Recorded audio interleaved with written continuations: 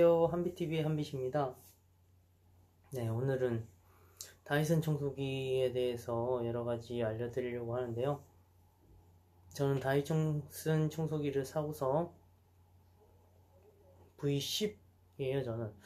사고서 뭐 많이 청소를 하는데 어, 뭐 딱히 뭐 불편한 점이 있다면은 이게 누르고 있어야 사용 가능하다는 거 떼면은 이제 또 사용이 안 되죠. 그 점이 약간 불편한데요. 어, 그런 거 말고는 없는데, 그거는 근데 솔직히 배터리를 쓰고 싶을 때 써야 되기 때문에, 어, 그런 부분은 뭐 잘 만들었다고 저는 생각하는데, 어, 생, 그렇게 생각하지 않으시는 분들도 있어가지고, 뭐, 나름, 네, 어, 다 뭐 그렇게 생각하시는 거 아니니까. 그리고 뭐 충전 시간 대충 뭐 3시간 반 정도면 완충이 되죠. 그런 점도 있고요. 어, 그 먼지 통을 비우는 게 어, 뭐 그것도 뭐 항상 그렇게 간단하진 않지만 한번 배워 두시면은 되게 쉽습니다. 그리고 한 달에 한 번씩 뭐 필터를 청소해야 되는 거 그런 것도 항상 있는 것이고요. 음, 근데 먼지통이 약간 뿌해져서 닦아도 별로 어, 몇 번 사용하다 보면은 뭐 어떻게 닦아도 그냥 그런 것 같은 느낌이 들 때도 있습니다.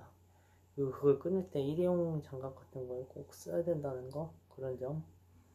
음, 뭐 어느 청소기라던가 그런 점은 있죠. 음. 네. 이제 그러면 제가 지금 영상을 찍어서 준비를 했는데요. 어, 제 영상 잘 봐주시고요. 또 구독과 시청이랑 후원도 많이 해주셨으면 좋겠습니다. 감사합니다. 영상 보시죠. 네, 이렇게 청소기를 쓰다 보면은 아무래도 어, 한 달에 한 번은 필터를 청소해줘야지 다이슨 청소기가 오래 갑니다.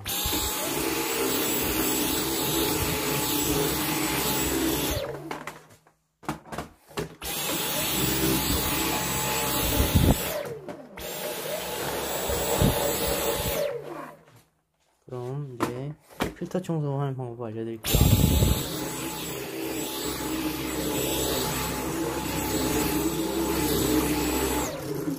머리카락이 꽤 많아가지고요.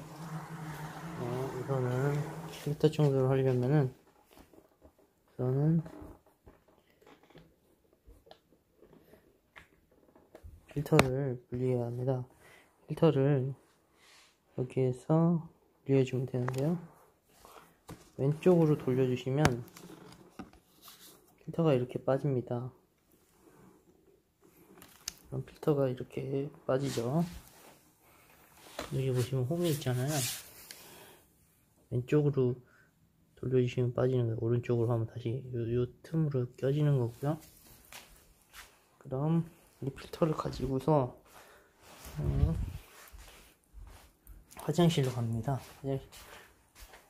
가서 네, 여기다가 물을 싹 부어주시고 열로도 부어주시고 음, 아무래도 여기 수도꼭지 모양이 있죠? 물 청소를 해주는 거죠. 먼지가 쌓아지, 쌓여니까. 아, 이 방향이니까 먼지 요 안으로 물을 넣어주시면 됩니다. 요 안으로 물을 넣어주셔야 열로 여기 먼지가 달려있기 때문에 여기 바깥에 안으로 물을 넣어주셔야지 먼지가 확실히 빠집니다. 그러면 이제 이거를 다 씻으신 다음에 물로 씻으신 다음에 베란다에다가 딱 놔주시면은 어 24시간 말리시면은 다음에 말리고 나서 여기다가 다시 껴주시면 되는데요. 이렇게 아까 반대로